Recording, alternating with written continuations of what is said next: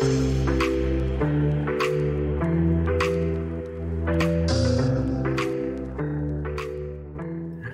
bah, écoute, on, va commencer. Thierry, merci Emmanuel. Est-ce que Emmanuel, tu veux dicter quelques règles ou pas sur la euh, Alors, effectivement, je pense qu'on aura un fonctionnement euh, normal euh, de webinaire. Donc, Eric présentera, Thierry, Thierry interviendra également. Pour les questions, vous pourrez les poser à, gauche, donc dans le canal de questions-réponses. Et puis, si nous, nous avons des questions de notre côté, on pourra, comment dirais-je, mettre en place des sondages euh, aussi. Et si vous, si vous souhaitez intervenir, alors euh, normalement, nous ne sommes pas sur des interventions libres, mais je pense que Eric euh, proposera des moments pour pouvoir recueillir des questions ou autres. Vous pouvez toujours lever la main en bas à gauche en cliquant sur la, sur la main jaune que vous voyez sur votre écran pour demander à, à, intervenir.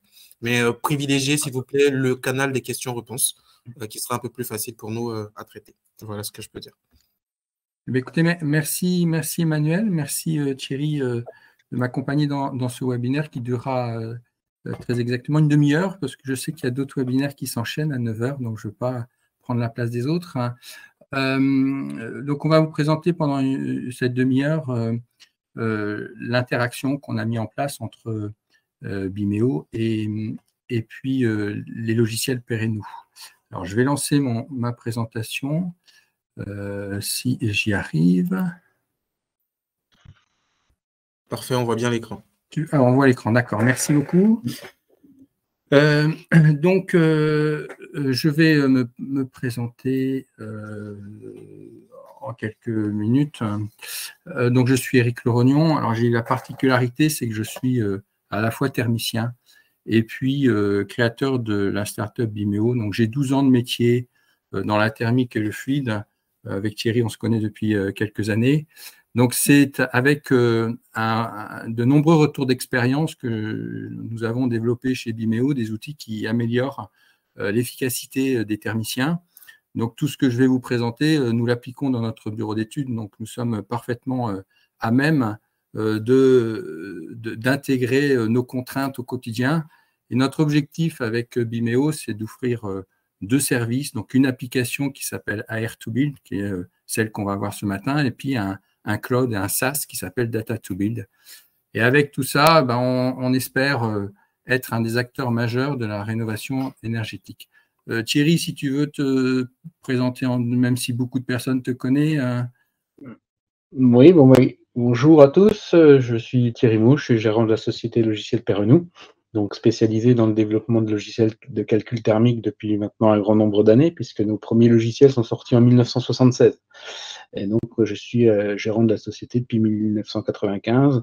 Et donc, on est, euh, on, travaille donc, euh, moi, je suis thermicien de formation également à la base, et donc on, travaille sur le développement des logiciels de calcul thermique, à la fois sur la partie réglementaire. Donc, comme je dis souvent, je suis né en RT 82, hein, et donc, j'ai suivi les évolutions. Je fais partie des commissions de travaux donc avec à la DHUP au CSTB depuis 1998.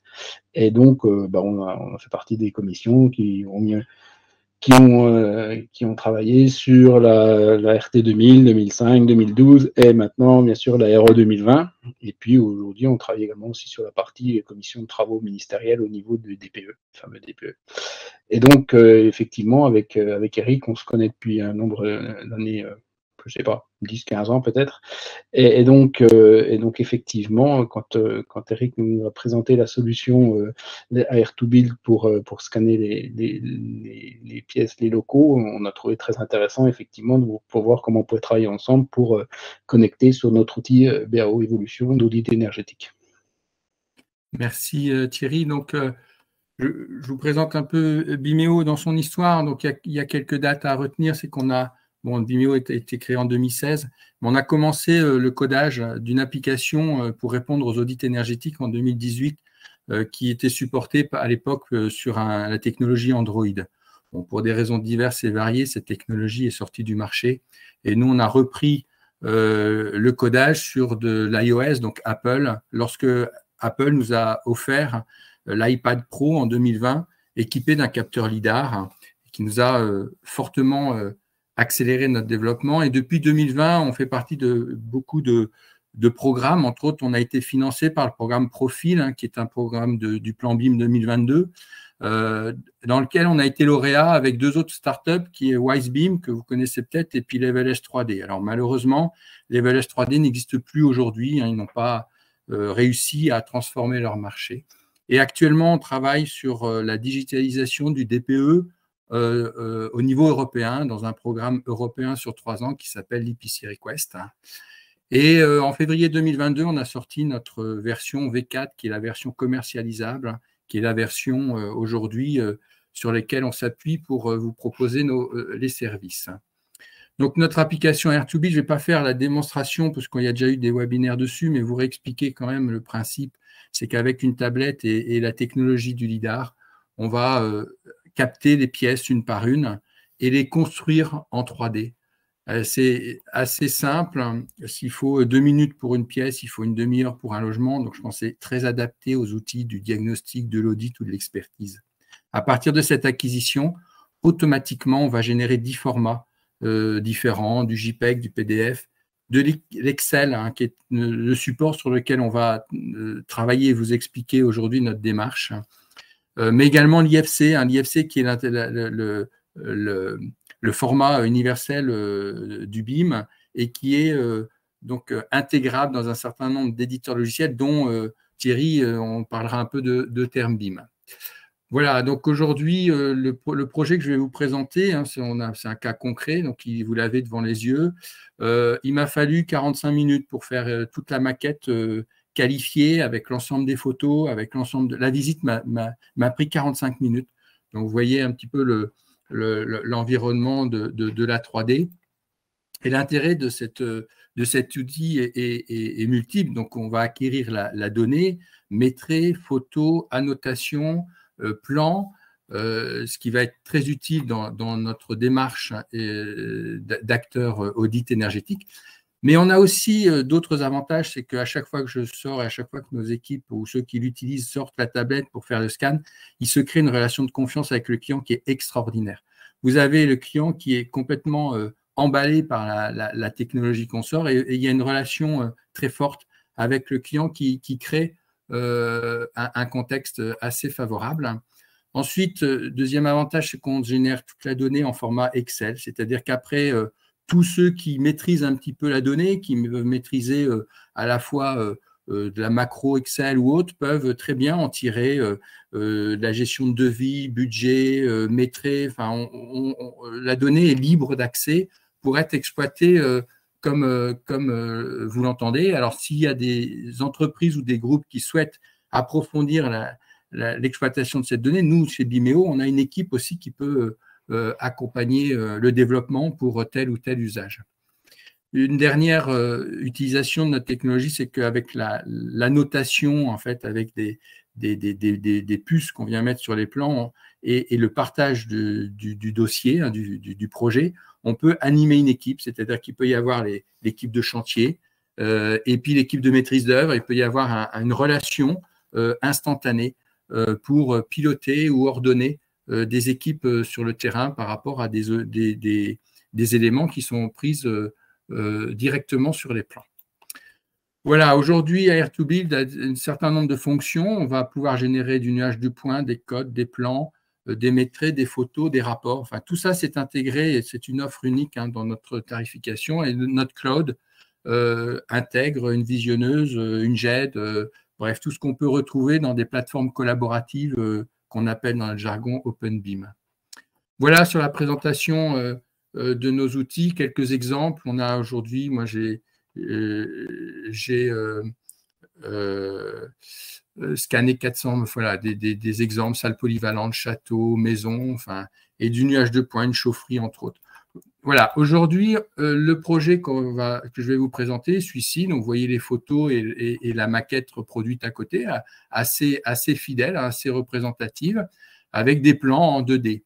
Ces plans, aujourd'hui, donc j'arrive sur le premier cas d'usage, c'est le terme BIM. Euh, aujourd'hui, donc euh, Thierry, tu me confirmeras, mais j'ai importé cet IFC direct. Il y a eu, euh, on va dire, deux clics. Hein. Il faut juste copier l'IFC dans le fichier BECP BIM, si je ne me trompe pas, hein, Thierry. Et une fois qu'il est copié, depuis le bouton terme BIM de BAO, vous allez récupérer cet IFC et il apparaît comme tel quel à l'écran. Alors, j'y ai, mis juste un petit filtre. J'ai sur votre gauche, vous voyez des petites croix de pièces, c'est-à-dire que j'ai enlevé les pièces qui étaient non chauffées du périmètre, donc je les ai retirées de ce plan 3D. Et là, vous avez toute la structuration du projet euh, pour engager une analyse thermique hein, euh, depuis TermBIM.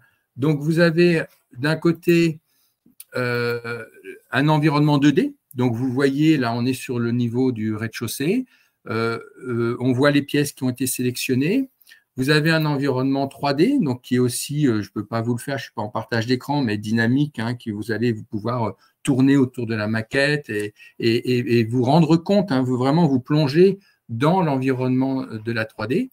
Et puis sur la, gauche, vous avez toute la décomposition thermique euh, de cette maquette. Donc la décomposition thermique, ce sont toutes les parois déperditives, euh, y compris euh, toutes les ouvertures qui ont, qui, ont été qualifiées et tous les ponts thermiques qui ont été extraits. Donc il y a un travail très important de Terbim qui est de transformer un IFC en un modèle analytique euh, prêt à être traité thermiquement. Thierry, hein, tu, me dis euh, si tu veux rajouter des choses ou si tu veux compléter. Hein. Tu n'as pas ton micro? Thierry, ton micro, s'il te plaît. Excusez-moi. Et oui, donc effectivement, donc Termim lui fait une analyse de l'IFC. Donc à partir de cet IFC, il en déduit les comment toute la décomposition pièce par pièce. Hein. donc on voit bien. Donc sur la gauche, l'idée c'était que pour pouvoir naviguer dans la maquette, on ait la navigation 3D, mais qui n'est pas forcément toujours la plus pratique, surtout sur des bâtiments un peu plus importants. C'est-à-dire quand on veut aller sur la pièce qui est complètement au milieu du bâtiment, c'est pas toujours simple. Donc c'est pour ça qu'on avait euh, complété cette euh, cette navigation par une navigation 2D. Donc on, voit complètement à droite de l'écran la possibilité de sélectionner étage par étage, niveau par niveau, donc pour pouvoir se positionner très facilement sur une pièce. Et puis ensuite, totalement à gauche, l'arborescence, euh, comme disait euh, Eric, thermique, hein, c'est-à-dire pièce par pièce, euh, retrouver dans l'analyse l'ensemble des parois qui constituent la pièce et après, effectivement, pouvoir compléter ces informations en bas de l'écran pour pouvoir euh, en tirer ben, des, saisies pièce par pièce qui peuvent, euh, donc qui dans ce cas-là, vont être intégrées directement dans l'outil BAO, mais qui peuvent aussi s'intégrer dans d'autres outils de, notre gamme pour faire du départ pièce par pièce, de l'ART, etc. Ouais, je pense que l'outil TMBIM est transverse hein, sur tous tes outils euh, de calcul énergétique unique qui permet de faire la passerelle entre une maquette IFC ou, du GBXML, hein, donc une, maquette 3D, et, l'ensemble de notre gamme euh, thermique.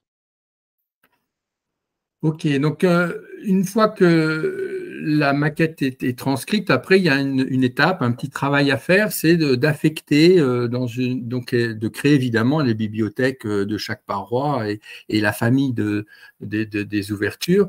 Et une fois que cette bibliothèque est créée, on, vient affecter dans un, tableau les différentes parois pour qu'ensuite le logiciel vienne les reconnaître automatiquement euh, euh, dans la 3D. Hein. Je pense que c'est le, principe, euh, Thierry. Oui, donc en fait, le principe, on a une base de données d'éléments thermiques, hein, des, constitutions de parois, de planchers, de plafonds et, de, des catégorisations de vitrage. Et ben, on a nécessité effectivement de, faire la liaison entre ces données et les éléments de la maquette. Alors, c'est on a des outils de filtre, etc., qui permettent de faire des liaisons euh, assez, assez rapides. C'est-à-dire que, par exemple, si dans, mon, dans mon audit, j'ai une seule typologie de mur, elle sera affectée automatiquement sur les murs extérieurs de la maquette. Si j'ai deux typologies, on pourra affecter par défaut la première, et puis la seconde pourrait être affectée par exemple par façade en général. Quand il y a plusieurs typologies de murs, c'est souvent par façade. Donc on pourra faire une sélection de, de tous les murs de la façade sud pour leur attribuer que c'est le type 2 et non plus le type 1. Enfin, donc on essaye de, mettre en place également des outils. Pareil, par, de la même façon, affecter également les fenêtres, parce que nous, on va définir les caractéristiques thermiques des menuiseries, mais c'est l'outil euh, euh, qui va lui régénérer automatiquement toutes les codes des fenêtres. Donc c'est pareil, l'affectation des fenêtres entre du PVC et du bois, par exemple, sur un projet mixte se fait soit par façade, soit en multisélection. Hein, on contrôle, on clique sur toutes les fenêtres qu'on veut changer, on les change d'une seule fois. Ok. Et donc, une fois qu'on a, pardon, je reviens en arrière, une fois qu'on a fait ça, bah, on vient euh, fermer euh, ThermBeam et automatiquement, euh, le modèle thermique vient se mettre dans l'onglet déperdition de BAO et on retrouve à ce moment-là bah, une saisie traditionnelle. De, et on peut d'ailleurs compléter ou implémenter euh, cette, euh, cette euh, déperdition d'éléments qu'on n'aurait pas vu ou qu'on voudrait ajouter. Hein. Je pense que c'est un peu le principe. Oui, c'est ça. C'est-à-dire qu'en fait, qu'effectivement, s'il y, a un élément qu'on n'a pas scanné ou qu'on a oublié, etc., il, est toujours possible de le modifier ou de le compléter après l'import de la maquette.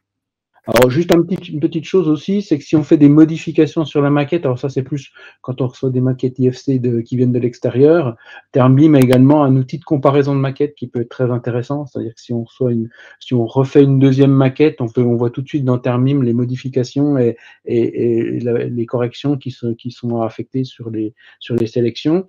Et si on fait deux imports de maquettes de la même maquette, euh, avec quelques petites différences, automatiquement TermBeam reconnaît déjà tous les éléments qu'on a affectés qui n'ont pas été changés.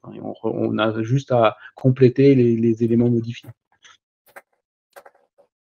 Ok, merci euh, Thierry. Donc, euh, on vous a présenté succinctement les, finalités et fonctionnalités de, de TermBeam. Et, dans notre démarche euh, de Bimeo, on a souhaité également engager un process un peu différent, un peu euh, prenant une autre voie, c'est que euh, on va euh, proposer un outil de, caractérisation thermique de notre maquette 3D pour faire un import direct dans BAO. Donc, on est en train aujourd'hui de, de, réaliser des bêta-tests. On fait du bêta-test sous format de macro Excel. Donc, c'est ce que je vais vous présenter.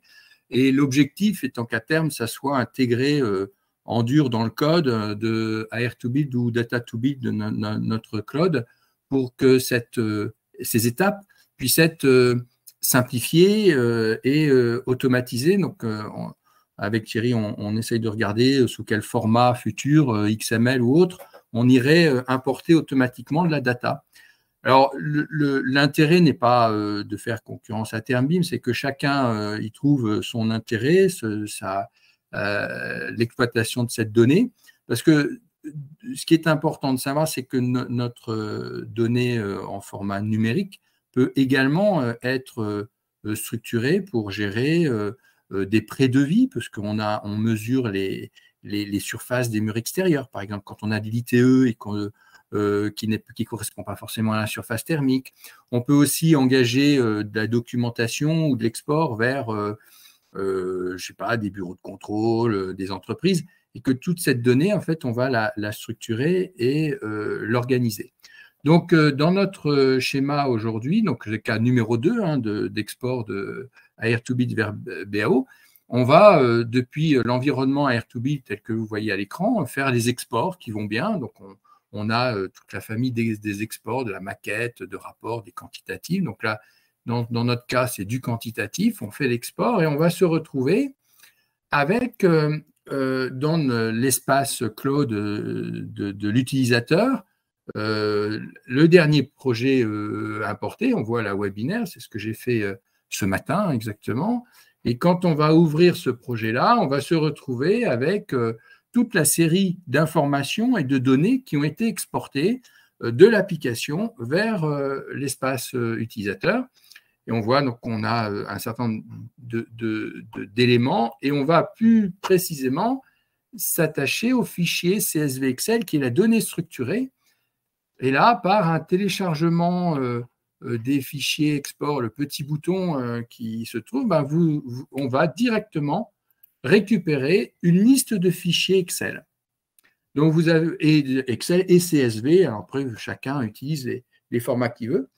Et dans cet export qui va, euh, voilà, qui, qui est mis en place, on a un fichier qu'on a appelé R2Build XLS V1, qui est ce fichier aujourd'hui qui intègre la macro qui va organiser toute la donnée. Et donc, en lançant ce fichier, on arrive sur une fenêtre de cinq étapes. J'ai volontairement, de façon indicative, indiqué le temps de paramétrage qu'il faut pour chaque étape. Vous avez la première étape, enfin, je vais, les enchaîner tout à l'heure, donc je, vais les décrire plus précisément, mais au total, avant d'arriver dans l'import, il faut pas plus de 15 minutes pour venir structurer, organiser et qualifier toute la donnée afin de la, copier directement dans l'onglet déperdition de BAO.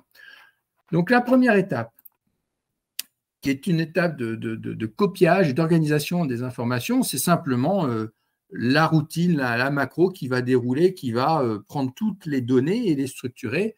Ça dure 10 secondes. Et vous n'avez rien à faire, simplement à cliquer dessus.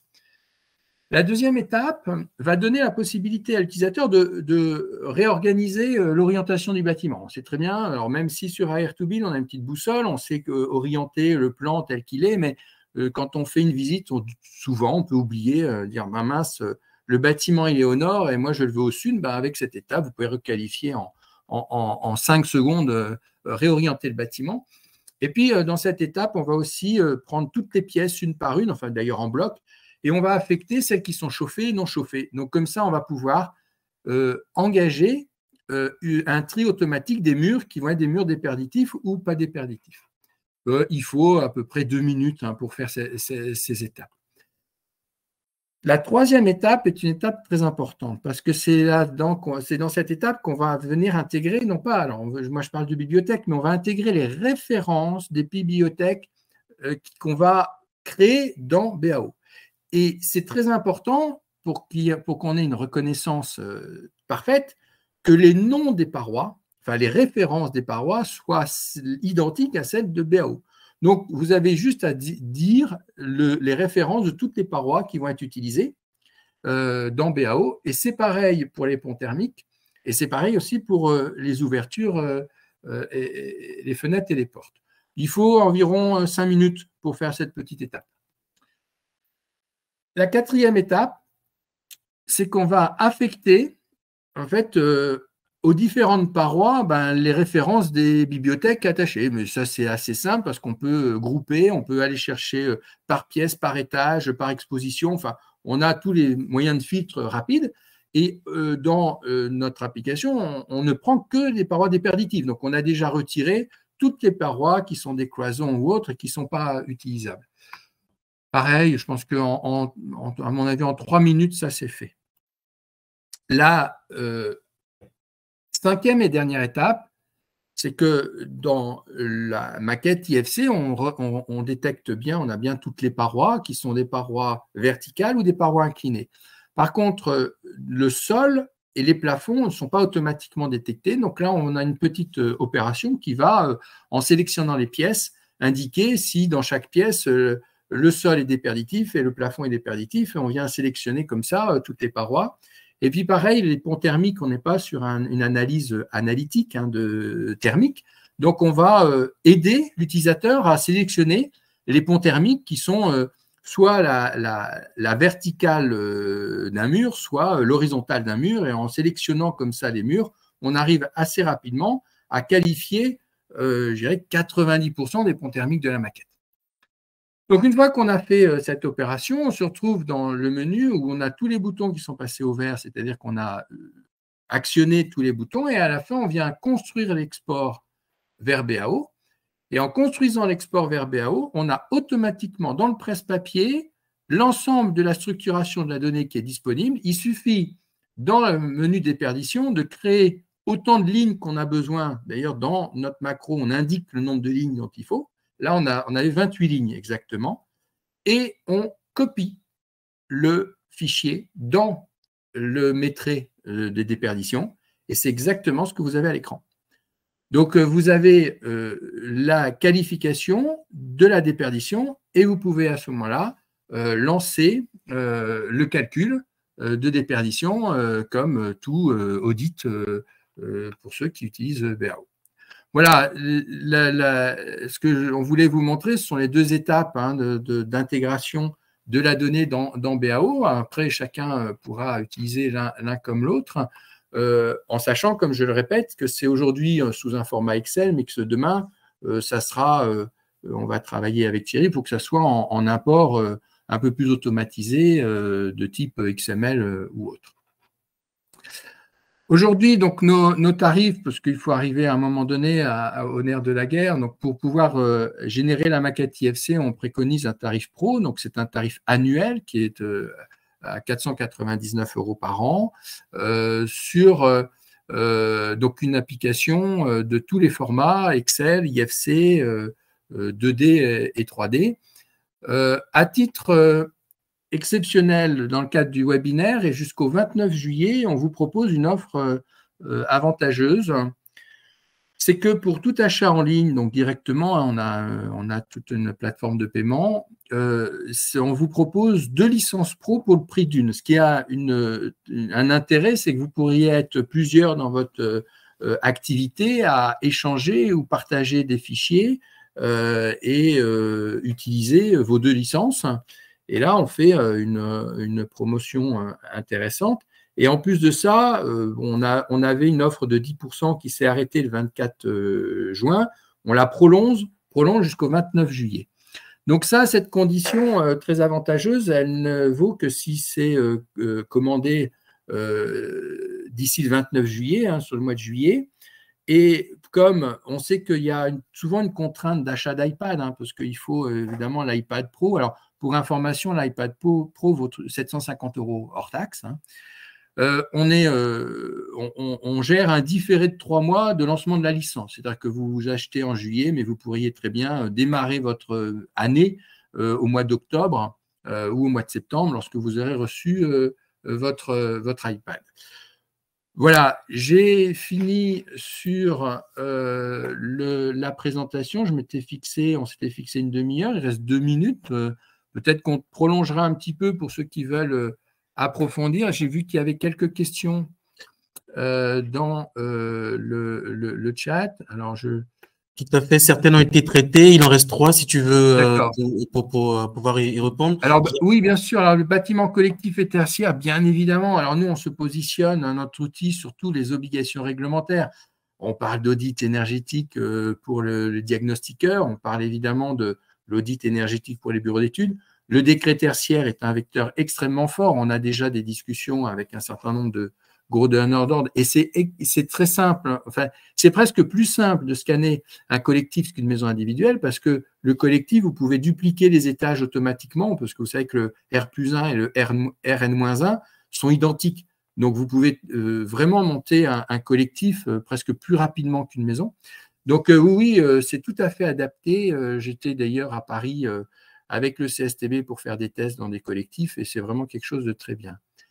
Alors, il y a une question, Termbim est à commander en plus de BAO et vos SED. Cette vue 2D, 3D est pourtant présente dans la BAO. Alors, je ne sais pas, Thierry, si tu vois ce que veut dire Virginie. Dans, dans, BAO, il y a déjà effectivement un petit outil 2D, 3D. Par contre, effectivement, Termbim est un outil euh, complémentaire parce qu'en en fait, Termbim n'est pas forcément associé à BO, comme on disait un peu tout à l'heure. C'est-à-dire que Termbim fait une passerelle entre nos, différents outils thermiques, que ce soit euh, RT 2012, etc. Euh, par contre, on va dire, avec la, présentation qu'a fait Eric tout de suite, et donc la macro Excel qui permet de faire un copier-coller du métré aujourd'hui, puis qui va évoluer, on va dire que on peut très bien en fait récupérer les métrés maintenant, euh, c'est tout nouveau. Hein.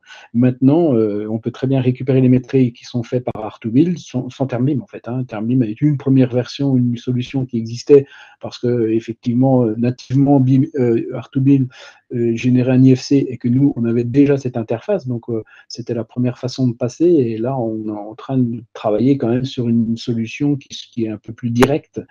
Et, donc, euh, donc bah, voilà, il y aura deux, deux possibilités. Soit passer par Termim, sachant que dans le cadre de, du, travail qu'on fait avec Eric, on, on, va pourra mettre à disposition pour les gens qui n'utilisent que sur BAO euh, euh, une version de Termim entre guillemets un peu allégée, euh, pas forcément dans ses possibilités, mais en, tarif, on va dire. Hein. on va faire une, on fait une, une, offre un peu particulière pour les gens qui veulent faire, qui veulent utiliser Termim uniquement dans le cadre de la, de la reliation euh, Art2Bill vers, vers BAO.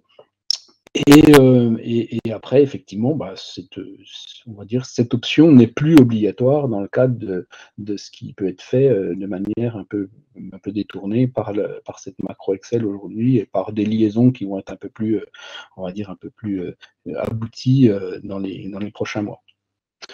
je, je, vois juste une petite, deux, deux, petites questions qui me concernent. Donc, donc je vois, donc effectivement, juste euh, une petite euh, Monsieur Puel, Christophe, qui, qui, me pose la question concernant la méthode 3CL pour les audits. Donc euh, dans BAO, la méthode 3CL 2021 a déjà été intégrée. Hein. Elle, est dedans depuis maintenant quelques petits mois. après, aujourd'hui, on, travaille dans le cadre de, la, des nouveaux DPE, qui, des, pardon, des nouveaux audits euh, réglementaires euh, pour les, les, DPE en FG, euh, donc sur un, sur un outil qui, bah, qui dans un premier temps sera associé à DPWin, donc le logiciel de DPE, mais qui sera aussi réimplémenté plus tard dans la partie BAO, sachant que, sachant qu'effectivement, si, si la date du 1er septembre est maintenue, ce qui me semble difficile, mais disons que si la date du 1er septembre est maintenue, il va falloir qu'on priorise et on priorisera plutôt la partie DPE parce que, parce que effectivement, c'est plutôt dans le cadre de la suite du DPE que ces audits réglementaires seront faits.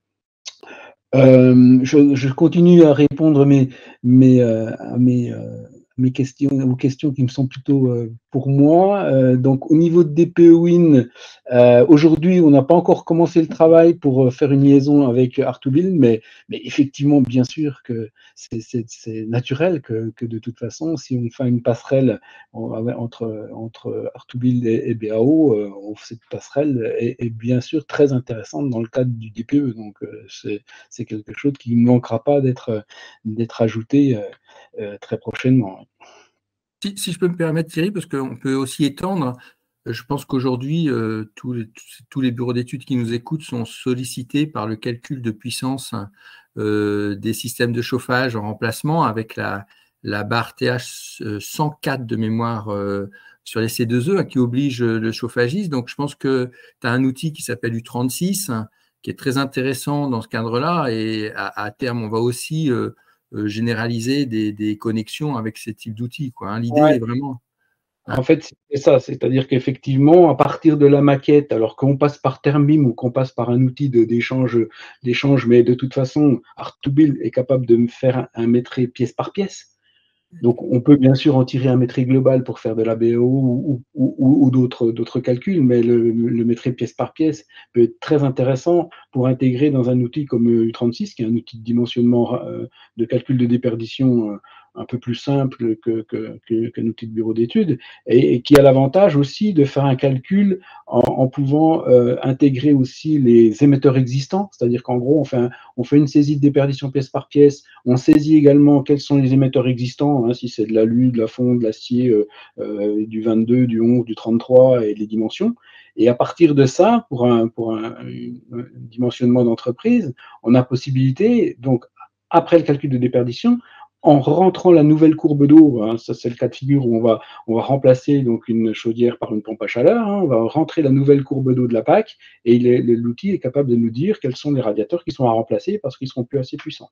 Donc ça, c'est des, évolutions effectivement qu'on fait et qui, viennent qui viennent en fait en plus du travail qu'on devrait faire, euh, je dirais, dans le cadre d'un audit, euh, dans le cadre d'un chiffrage, parce qu'effectivement, si on, si on a des émetteurs à remplacer, ben c'est pas pas le même prix si les, émetteurs conviennent toujours au niveau de la, au niveau de la, nouvelle courbe d'eau lorsqu'on passe sur une PAC, ce qui est quand même une des préconisations, euh, je pense, euh, quasiment, euh, quasiment systématique. Systématique, Alors, juste petit détail, je dis aussi, dans, dans le process d'acquisition d'air to build, on peut prendre les dimensions des radiateurs, c'est-à-dire qu'on peut, dans le process, demander à ce que la visite intègre les dimensions hauteur-largeur des radiateurs et ça vient s'inscrire dans la donnée. Donc, derrière, il y a une capacité à, à venir préciser ces informations qui est très forte. Euh, ok. Euh, il y avait une question euh, sans terme BIM, il y a une perte de rapidité. Exactement, Christine. c'est toi qui fais les deux, qui a les deux process, qui maîtrise Ah. le plus les deux. Bah, Après, c'est difficile. Euh, c'est euh, une méthodologie à prendre, en fait. hein. Une fois que vous l'avez prise, bah, comme toute méthodologie, les deux outils, les deux approches, quand vous allez euh, performer, vous arrivez au même résultat. Je pense qu'il y a, je ne peux, pas- je peux pas dire qu'il y en a un plus rapide que l'autre. Après, il y a, il y a une appropriation et, et, et il, y a, il y a une méthode de travail. Quoi. Donc, euh, euh, honnêtement, euh, l'une comme des gros écarts. Pardon, Thierry? Je dis, je pense pas qu'il y ait des gros écarts Non. de temps. Quoi. Non, non, non, je ne pense pas non plus. Alors, la licence terme BIM est-elle multiposte comme la BAO Thierry, Oui, oui. d'accord. Ok, je relis. Ah ben, il y a beaucoup de questions pour toi, Thierry. hein. Ah, ou alors, Emmanuel, tu as répondu à toutes les autres, c'est ça? Oui, pendant, pendant la présentation, j'en ai répondu euh, à quelques-unes dans la, dans, la, dans la partie traitée.